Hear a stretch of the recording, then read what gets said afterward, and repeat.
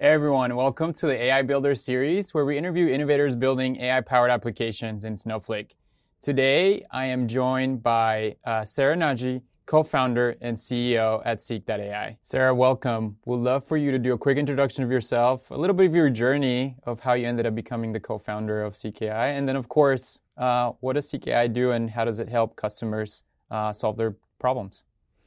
Yeah, so I like to kind of start with my own background because it leads into the origin story of Seek and why I founded the company. So I actually came from a data background myself. Um, I worked as a data scientist for over a decade. I actually started out in the astrophysics world, um, working with data from the Hubble Space Telescope, and then kind of got into quantitative finance early on because it actually used a lot of the same math as uh, the astrophysics world. But then I got really interested in data science and even data analysis. So ended up becoming more of a data scientist in financial services for the rest of my career.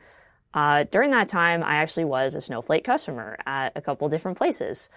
Um, and so the pain point that I just kept experiencing pretty much everywhere I worked was I wanted to be doing just deep research on the data. Like that's what I was used to. That's why I got into the space because of all the cool data that I could play around with and ideally find insights that were really valuable and in my world, you know, could make money for the business in the form of profitable investments. Um, and instead, what just kept happening was the non-technical people needed a lot of help too with the data. So they would keep coming up to me because the tools they had just weren't serving all their needs. And they'd be asking me questions just most of the day. So, you know, I really was not expecting to have to be going into the data, writing a bunch of code, often very manual, repetitive code, over and over again for these non technical colleagues. And so around 2020, that's when I came across large language models that could write code pretty well. Um, and it was actually a really big step up from previous large language models. Like I had been following the space since 2018. And so the thing that really struck me was you can ask these models questions, which non technical people are really good at. And on the back end, they can write a lot of the same code that I was writing that I really didn't want to be writing. So uh, basically, 2021 ended up quitting my job, did a really deep dive into large language models, like essentially bet my career on them. And then later that year, 2021, is when I founded Seek. And so what we do is we build a natural language interface that anyone in a business can use to just ask those same questions that you want to ask the data team. But instead of waiting two weeks, four weeks for an answer, you can actually get a lot of the answers back in real time. And that means you can ask more questions. So one of the biggest things we hear from our customers is, you know, I have questions I've been wanting to ask for like years potentially. And I always had higher priority questions I needed to ask the data team, so I couldn't bother them with all my questions. Um, and so we allow, you know, all these questions to get asked and therefore more ROI from that data. So what I really like about your story is how there was that personal experience, right? That pain point that you were feeling. Then at the same time, you see this wave of large language models doing things that we didn't think were capable of, like machine learning and algorithms doing before and you come together and start building Seek.ai. How did you start prioritizing? What was like the first thing uh, that you guys wanted to build as you were seeing those two trends uh, coming into Seek AI? You know, the main languages that I was coding in were SQL and Python. And so, kind of choosing what is the language that we want to start with, I chose SQL because, you know, that was often, to be honest, the most repetitive language. Like for me personally, it was a lot easier to write but you know also just a lot more repetitive and you know in some ways um, just a lot less you know kind of stimulating than Python. So I I figured this is probably going to be easier for an AI to automate than Python initially. So that was kind of our choice to begin uh, with SQL. Um, in 2023, you know, we achieved our goal of building the world's best natural language to SQL model. Um, if you look at the Spider data set, which is kind of the most widely known academic benchmark on text to SQL, our model MiniSeek is actually at the top of the leaderboard. It's the only model above 90% accuracy. First model to break that milestone. So yeah, uh, we started out with SQL. You know, we hit our goal of doing that really, really well in 2023. So now, 2024, um, we are starting to expand into other languages like Python. Um, and it's also a really big goal for us to also just do whatever we can to make the dialogue uh, better and better as well. I really like everything you're saying, so I kind of want to see how does it actually work. And I'm kind of excited to see how you guys are solving for a big problem in LMs, which is hallucination. Mm-hmm. And how do you get those business users to trust the results of these like LLM generated SQL? Uh, we should take a look at your demo. All right, sounds good. So, yeah, going into the demo, what we're showing is actually a few different user interfaces. We have the business user interface. This is a product manager named Nick who really has no idea what's going on in the data. He's always asking the data team. We also have uh, two other interfaces. We have the admin view, um, as you can see, it's connected to Snowflake. Pretty soon, we're going to have the SPCS URL and that deployment, which I'm really excited about. And we also have a data analyst view. This is someone named Sarah, named after me, and this is really something I would have wanted in my job. And so I'm going to show how all the different roles work together to speed up these data workflows. So the first thing I'm going to do is just type brands to see what are existing questions that Seek can suggest. And I can just click on one and right away just be able to see it. So this can be really useful just to have all of the data in one place. If you have like a thousand employees, a hundred thousand employees, you probably don't want people just asking the same questions to the same data team and having that same work being done by multiple people. So having everything in one place prevents the same questions from getting asked twice. But the really interesting piece is when you have new questions. So I'm going to ask, show me all consumer brands and their average rating, and hit enter. And so what Seek is now going to do is it's actually going to go through all the data in the warehouse. Doesn't matter if you have you know, hundreds of thousands of tables, for example, Seek is going to choose the right warehouse to query the right schema, the right tables, and from there, it's actually going to piece together the SQL query. And, you know, from there, it's going to actually run a confidence threshold to be able to determine if it's highly confident in the answer or if it needs to send the answer to a data analyst. In this case, Seek was highly confident in the answer. So you can actually see this blue shield here that says verified by Seek. Um, you also get this nice uh, write up here about what's going on in the data. But, you know, I might have another question. So let's say I want to know the week over week growth of the most highly rated Samsung brands, for example. I'm not really seeing it coming up, so I'm just going to hit enter. And again, uh, what Seek is going to do is, you know, it is going to use the previous context of the chat potentially to inform the question, but it's also going to continue to go through all of the data, find the right data to query, choose the, the columns, um, and finally produce the query.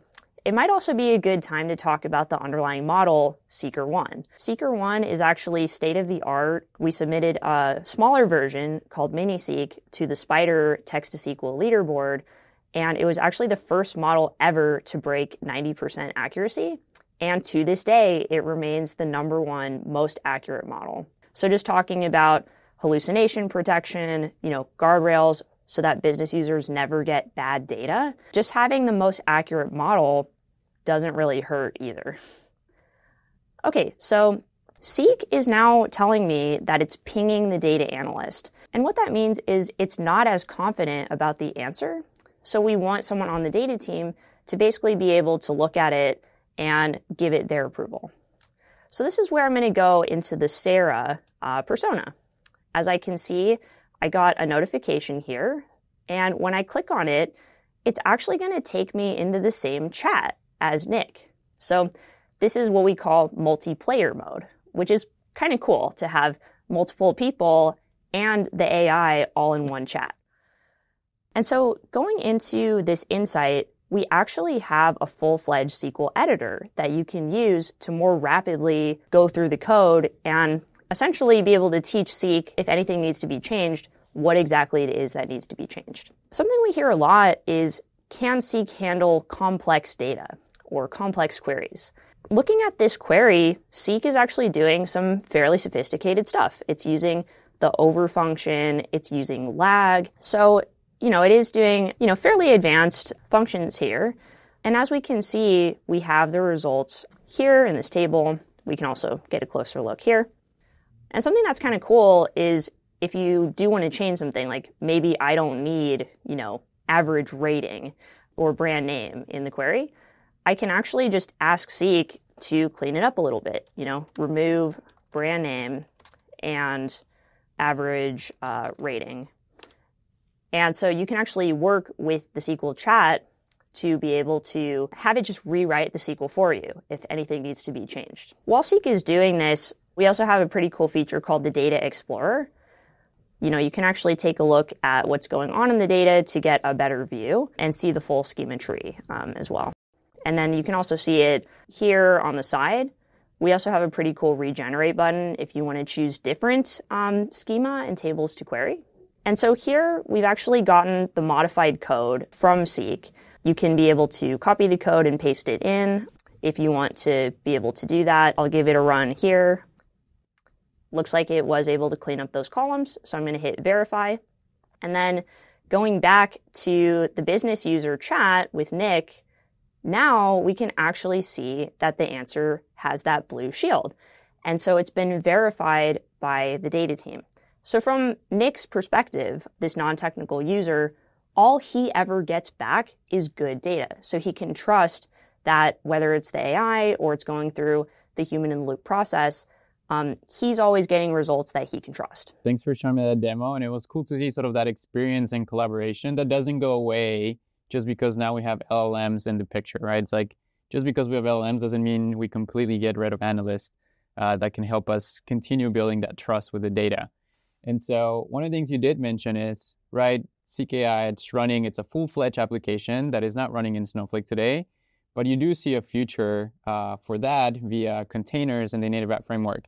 Tell me a little bit more as to why is that's an exciting moment for you guys, especially with the type of customers and the type of challenges those customers uh, are seeing today. Yeah, so as I mentioned, I personally used to be a Snowflake user and customer at other places I worked. So when I was starting Seek and we were trying to figure out, okay, what's the first um, data warehouse that we connect with, Snowflake was really the first company I sought out to do a partnership with.